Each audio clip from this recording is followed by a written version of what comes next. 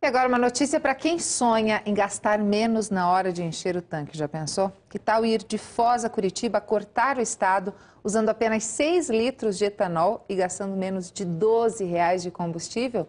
Pois é, estudantes de Pato Branco mostram que é possível, só não pode ter pressa.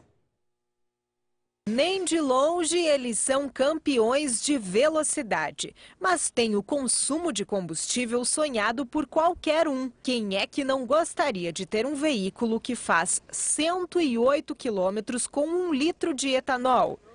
Os donos dessa tecnologia não revelam muitos segredos, mas adiantam que o desenho e o material usado na parte externa são fatores que ajudam nessa economia. Foram cinco anos de pesquisa e experiências até chegar a esse resultado.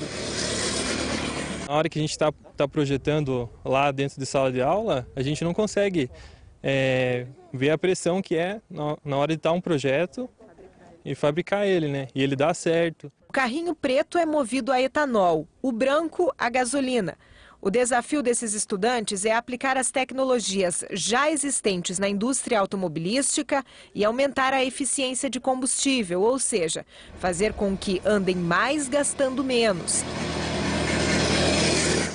No mês passado, eles provaram que estão no caminho certo. Ganharam o reconhecimento do campeão mundial de Fórmula 1, Emerson Fittipaldi, com direito a autógrafo na lataria do carro é que esses dois carrinhos participaram de uma maratona universitária de eficiência energética na pista de Interlagos. Competiram com grandes universidades. O movido a álcool ficou em terceiro lugar, já o a gasolina em sétimo lugar. Fez 152 quilômetros com um litro do combustível. Para a competição do ano que vem, o pessoal já fez um estudo com algumas alterações necessárias para brigar pelo primeiro lugar. Uma das mudanças é no peso do carrinho. Ele precisa perder alguns quilinhos para se tornar mais econômico. Só que para isso, essa galera está precisando de patrocínio. Já não dá mais para competir com um motor mecânico sem injeção eletrônica, muito menos com essas rodinhas improvisadas de bicicleta. A universidade pode nos dar suporte intelectual, né, profissional. Só que financeiro a gente tem que acabar buscando com as empresas, né?